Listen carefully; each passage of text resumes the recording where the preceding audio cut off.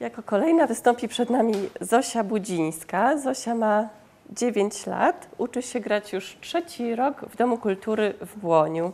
Dziś wykona dwa utwory, Menuet G. Durbacha oraz Etiudę Heleny Gnesiny. Zapraszam, Zosia Budzińska.